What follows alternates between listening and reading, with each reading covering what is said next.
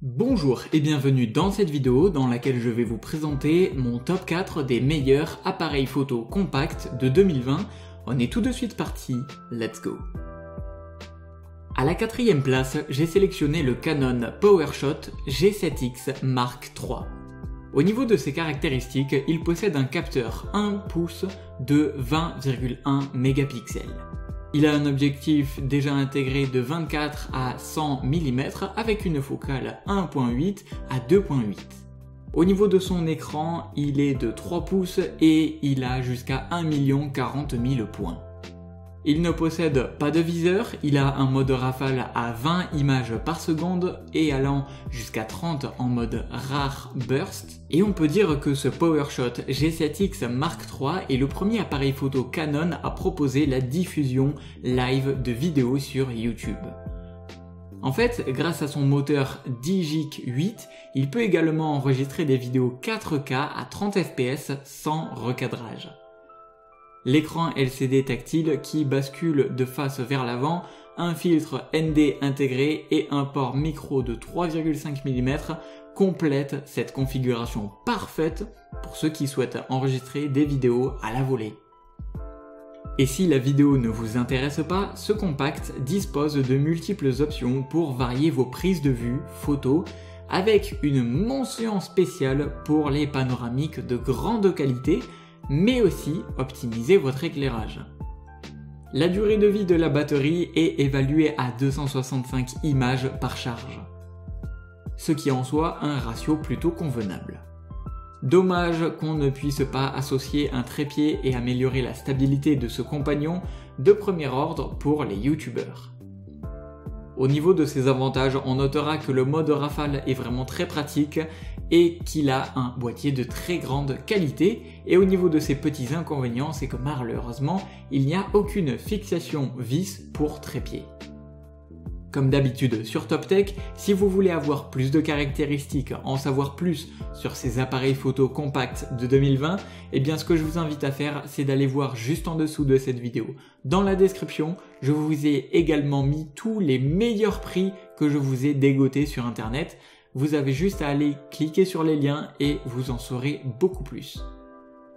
Numéro 3, j'ai sélectionné le Sony Cybershot RX10 IV.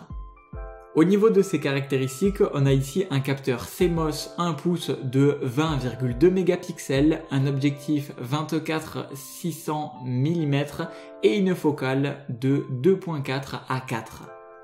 Au niveau de son écran, c'est un écran tactile inclinable de 3 pouces et jusqu'à 1 440 000 points. Au niveau de son viseur, on a un viseur EVF et le mode rafale, il peut aller jusqu'à 24 images par seconde. Concernant la vidéo, si ça vous intéresse, il peut faire des vidéos en 4K. Donc si vous recherchez un bridge tout en un utile et puissant, le RX10 IV de chez Sony est ce qui se fait de meilleur.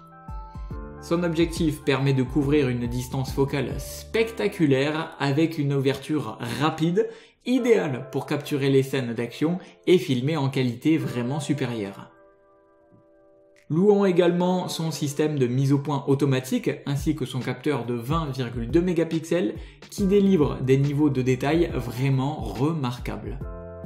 Alors au niveau de sa prise en main, ça s'avère agréable et assez proche de celle d'un réflexe avec un grand écran tactile. Le plus gros problème qu'on pourrait dire, c'est qu'il dissuadera probablement ses acheteurs potentiels, c'est son prix, malheureusement. Le RX10 coûte presque deux fois plus cher que ses concurrents directs. Et oui, cela reste un petit peu cher pour un appareil photo compact, mais en l'occurrence, ils ne peuvent pas se vanter d'avoir un tel objectif photo que celui du Cybershot RX10 IV.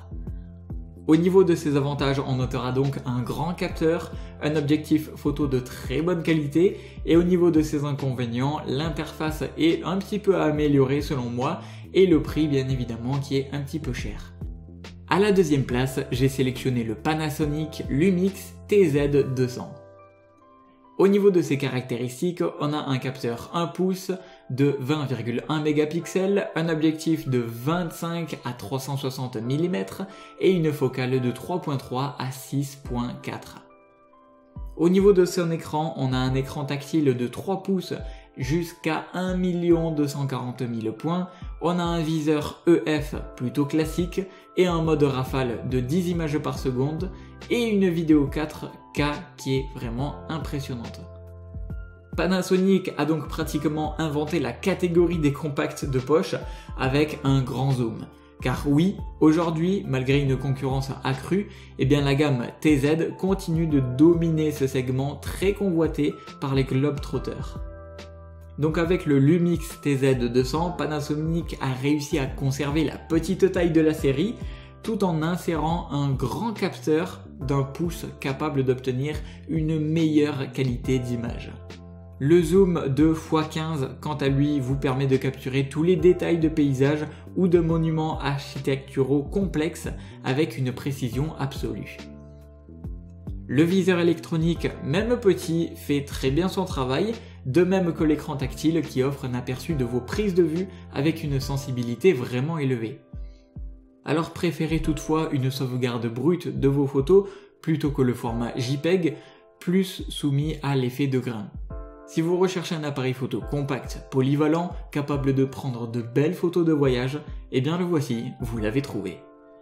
Au niveau de ses avantages, on a donc un grand capteur d'un pouce, un zoom 2x15 et au niveau de ses inconvénients, un viseur électronique étriqué et les photos JPEG peuvent nécessiter un traitement léger a posteriori. Et enfin, celui que j'ai personnellement sélectionné numéro 1 de ce top, c'est le Fujifilm X100F. Au niveau de ses caractéristiques, on retrouve un capteur CMOS APS-C de 24,3 mégapixels, un objectif de 23 mm et une focale de 2. Au niveau de son écran, on a un écran 3 pouces 1 40 000 points, un viseur qui est hybride optique et EVF et un mode rafale qui est à 8 images par seconde et une vidéo qui est à 1080p. Alors encore un modèle compact des plus coûteux, mais si vous cherchez un appareil photo de haute qualité, vous serez vraiment servi avec le X100F. Tout dans sa configuration respire la classe. Contrairement à de nombreux compacts, il possède un objectif à focale fixe au lieu d'un objectif à zoom classique et en plus il est couplé à un capteur APS-C de 24,1 mégapixels similaire à celui d'un très bon appareil photo réflexe et il est capable d'obtenir des photographies vraiment bluffantes. En plus de ses nombreuses commandes manuelles, et eh bien ce compact haut de gamme de Fujifilm bénéficie d'un viseur hybride intelligent. Ce dernier vous laisse donc le choix entre un mode électronique qui vous permet d'optimiser la mise au point ou le mode optique qui vous garantit le meilleur cadre possible. Un luxe qui sera davantage apprécié si vous disposez déjà d'une bonne connaissance des techniques photographiques.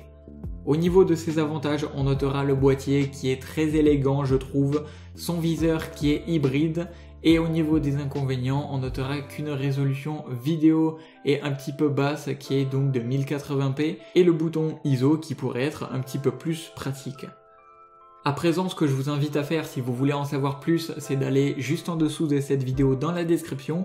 Je vous ai mis tous les liens à votre disposition pour en savoir plus et obtenir le meilleur prix que je vous ai dégoté sur internet. Et dites-moi dans les commentaires quel est vous l'appareil photo qui vous a le plus séduit ou si vous vous en ajouteriez un nouveau à ce top. À présent, je vous laisse mettre un like à cette vidéo et vous abonner à la chaîne pour être au courant des prochaines vidéos sur la high-tech. C'était Top Tech, je vous dis à la prochaine. Ciao ciao